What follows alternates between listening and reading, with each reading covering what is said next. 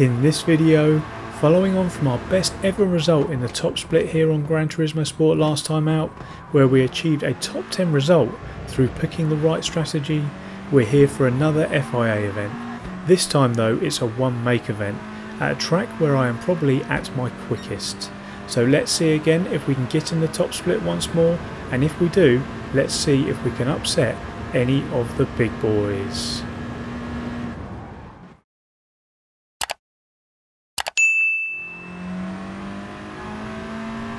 Hey guys, Eerie is here, welcome back to the channel and thank you for choosing to join me here for another video. If this is your first time here and you like watching all sorts of sim racing related stuff, then subscribe now and hit the bell icon as well so you get notified of every new video I upload and you don't miss a thing. So you join me here in the pre-race practice, where I'm getting used to the car as the car stipulated for this one is the Group 4 Volkswagen Scirocco, which is an FF car which handles of course much differently from our usual rear wheel drive cars. So you need to drive it completely differently.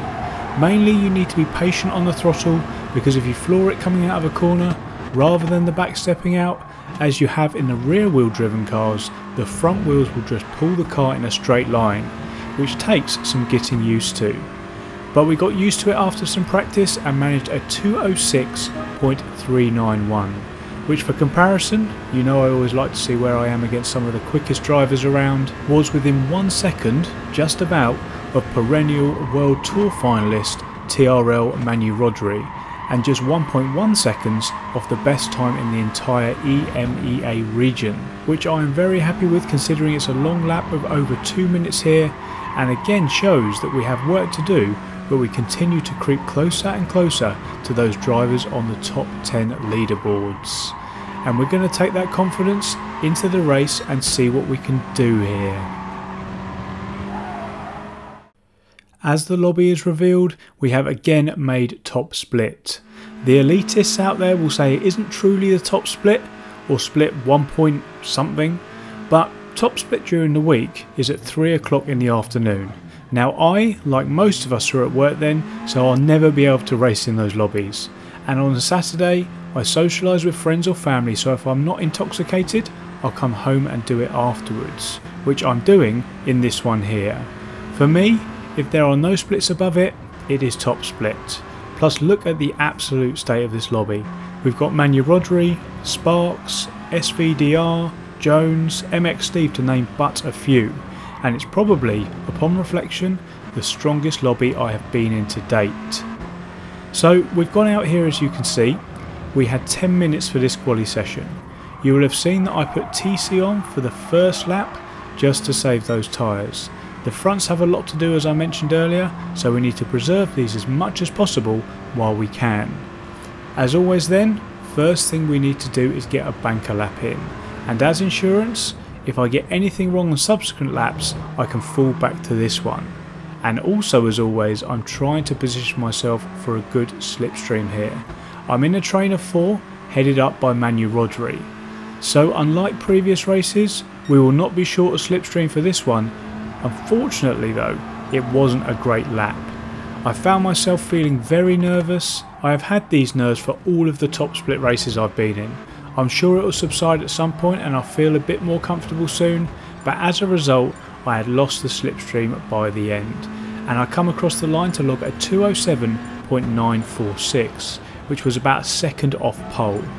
But most importantly, the banker lap was logged, so I came in to go again. Here we go again then for attempt number two. Again, good slipstream position we have here. We're currently behind the 6th place car but then they bin it in the Degners, which is far from ideal as his departure means we've now lost the slipstream to the cars up in front, which we need for the fastest parts of the track where the slipstream would have helped us the most. But whilst compromised, we still improve slightly, but not all that much. We come across the line with a 207.807, putting us down in 19th place. But it isn't all bad as we're only 5 tenths off 5th as you can see there. Such is the fine margins here in these lobbies and then considering I did two thirds of the lap by myself, including the long back straight without a slipstream, I think it could have been much better for us here. And despite the strength of this lobby, I'll be taking that time into the race and looking to get in and amongst it in this one. Here we are then lined up for the race itself. We haven't got too much time to say much here as the lights are about to go on for a rare standing start. As you can see here, I'm about to put traction control on 2 to limit wheel spin during the first phase. I've also got the handbrake on as the lights are starting to go on. The lights are about to go out here, we take our finger off the handbrake and we're away. Now I need to get that TC back down to zero for the second phase and then get the radar on before we get to turn number one. We managed to do that though and we're going to take it nice and easy here as we arrive at turn number one. Getting off the throttle early because if you don't have any contact you won't have any penalties. Unlike though the guy who is so distraught up ahead by getting a penalty that he's going to end his race early on. But actually if you have a look at the track map he then changes his mind and keeps going. Very strange decision there indeed. But now we've managed to survive that first corner, let's take a look at the livery for this one and give a quick nod to the creator as we didn't have a chance to at the very start. So a big thank you to you, Crazy Tribe N7 for this M&M, the chocolate ones I hasten to add, not the peanut ones because they're rank, inspired livery. We're also going to cover the strat early on in this one, as it's going to start pretty early here. We're here at one of my favourite tracks, Suzuka, and we have the mediums and hards available, but no softs for this one, and the hards are a requirement. So I decided on the basis of that, as you can see, to put the hards on at the very start, and then get them back off the car as early as possible. I'm then going to do two 6 lap stints on the mediums, keeping me on the faster tyre for the remainder of the race. We are not the only one with this strategy in mind though, as two others come in as well.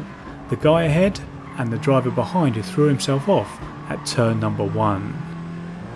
So now that we've got rid of those hards and are on the faster compound, we are going to try and catch the pack as they continue to battle up in front. And this is the importance of a clear track. If we can use the mediums to our advantage, use that fresh rubber to catch up to the back of them, we will have essentially negated the time lost through the pits, and then been on the quicker compound for at least half of the race longer than those around us, giving us a clear advantage over those who started on the hards and then stayed on them. Moving ahead to the end of the lap here, the Spaniard is going to come off hards a lap later than us. I'm not sure of the thinking behind that. Maybe he decided to change to a different strategy on the fly. Well, either way, we'll take that position and up ahead the Frenchman is going to go off at turn number one and as you can see we are very much catching those ahead. We have certainly made up for the pit stop loss already and we can see the advantage here as we go around the outside of the Frenchman at the end of the S's. I did enjoy that move I've got to say. And more gains are on the horizon as the two cars ahead have not only been holding themselves up but they've also got themselves a penalty each. So thanks to the move on the Frenchman back there, we're up to 17th but I expect two more places once they serve their penalties. But before they do that, as we come here into the first part of Spoon, the Spaniard at the head of the pack of four ahead goes wide, allowing us to gain yet more time on them. So as they serve these penalties, oh, there's three of them actually who are going to do so. We're going to go up from 17th to 14th here, and we are now right behind and think about a move on the Spaniard or to pay him the respect he deserves, address him by his actual name, Lucas Ordonez. Now, for those who don't know, Lucas deserves respect because he is the inaugural GT Academy winner, who became a professional racing driver by winning the competition. He is like the old school version of Igor Fraga, for those who aren't aware of him. And since winning the GT Academy competition, he's raced in Le Mans, the European Le Mans Series, and has even been in Super GT. Well, he wasn't in Super GT, as in Steve Super GT. I mean, he raced in the Japanese car series, just to clear that up. But anyway, moving swiftly on, he is also part of the Spanish commentary team at the GT Sport Live events. And now he is racing against and has been overtaken by me. Now, I don't know if that's me doing well or him doing badly. I'll let you guys decide that one. But incredibly, once I've overtaken the inaugural GT Academy winner there, we are now up to 13th. As we head down the start finish straight here to end lap number 5 and start lap number 6, the Brit is going to come in, promoting us up to 12th now. Not bad having started in one but last on the grid. Actually, make that 11th as Calderon there gets onto the Astro and goes around. I really feel like I'm driving quite well right now. I'm not really making any real big mistakes and I haven't done so for some videos now. I used to do a lot of spinning, going wide, getting penalties, forgetting to put the correct tyres on and a whole host of other stuff. Stuff that I'm just not doing right now. Touch wood anyway. And a little bit later on in the lap, the German gets himself a penalty for exceeding track limits. We're going to get alongside as he runs wide coming through 130R and then he defends with all his might here coming down into the Casio triangle. Even then going wide again on the final corner, only to come in.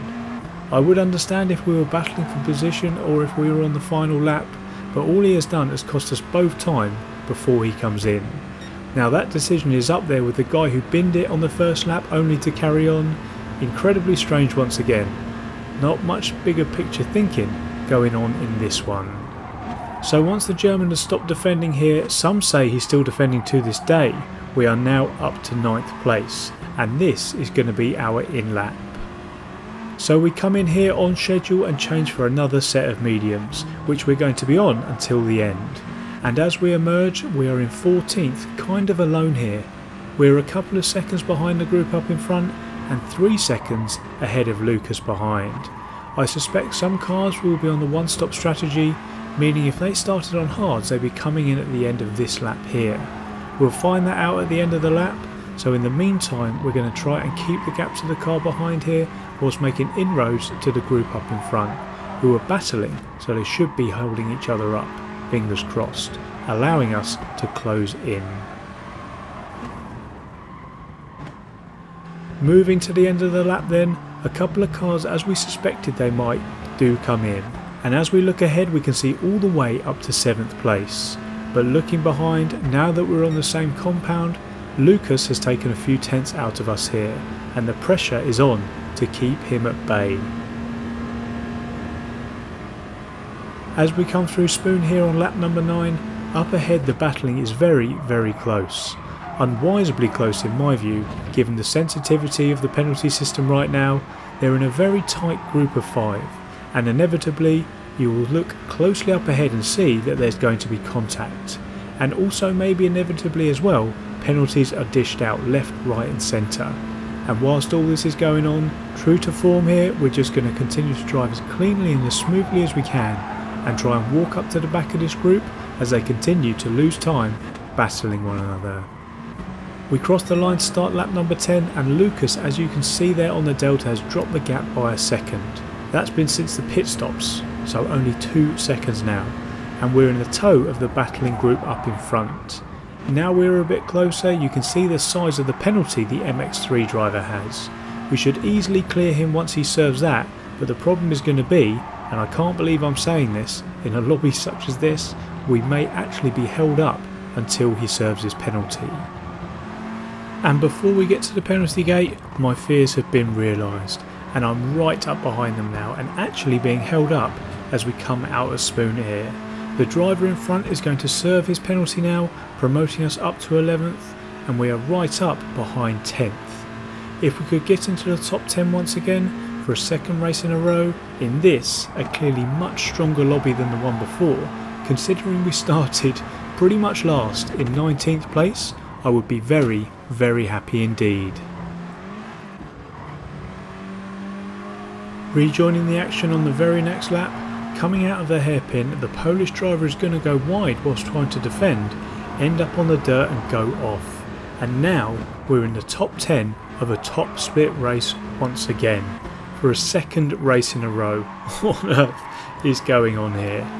But now there is something else that's going on. I need to get past the car in front as Lucas is catching, catching, catching. I try the old Kie here as we come down the back straight faking giving up on the move and then coming back again, but he doesn't fall for it. Fair play to him. I'm then here, once we're done with 130R, going to try and go around the outside at the Casio triangle, giving me the inside for the second part. Again, his defending was really, really good, as I should really expect at this level. Keeping it nice and clean as well, despite the penalty system, there are no penalties here. But what has happened is this battling has allowed Lucas in. I cannot tuck back in there because he has occupied that space. If I didn't, I'd be like that guy from a few videos ago. And if you haven't seen that, it's an absolute classic and I suggest you watch it after this video. But getting back to the race, I'm going to then find myself on the outside coming into turn 1. I try to hang it round the outside, but I can't keep it and I'm going to lose the place and go back down to 11th once again. But even if I'm on the losing end, it's great stuff there, I'm not too worried about it. Again, clean as a whistle. And as you can see a little bit later in the lap here, 10th is finally going to go wide out of spoon. We're going to jump at the opportunity and we're back up into the top 10. Now settling for 10th place would be fine, but that guy up in front, as I've mentioned a couple of times before, is the first ever GT Academy winner. How could I sit here and settle for this one knowing he's in front? I'm going to go after him.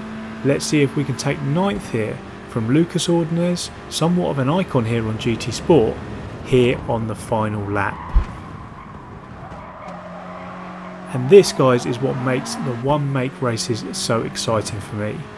Whilst you're all in the same machinery, it is a complete litmus test of how good anyone is on the game. By forcing everyone to be in identical machines, so literally the only variant can be people's speed and strategy. And I'm actually fighting with some of the top drivers in this game. Absolute dreamland for me. Such crazy times right now. But despite my best efforts over the final lap here, again staying very very clean, no penalties to see here, I just couldn't get him and I'm going to come across the line to take my second top split top 10 in a row. But as we wait for the results to confirm here, Manu Rodri, you're going to see, race winner, disappears. And then Lucas, shortly after, is going to disappear as well, putting us up to 8th place. Now, in my book, this is a 10th place for me, even if the points will show that I got 8th. So as my 8th, which really should be 10th, is confirmed here, let's take a look at our driver rating points. But I'll be honest, I'm not too worried about them right now. I just can't believe that this was my third top split race in a row. Yeah, qualifying hasn't been great, so there's been a bit of a gap in raw speed as I would expect as well, but my strategies really have brought me back into play here, and this is my second top 10 in a row. Maybe, just maybe, I do belong here. What do you guys think? Let me know in the comment section down below. And whilst I mull that over, I'm going to end the video there guys. I hope you enjoyed the video. If you did, please do hit that like button and make sure you're subscribed if you haven't already. Thanks again so much for watching though guys and I will see you in the next one. Cheers.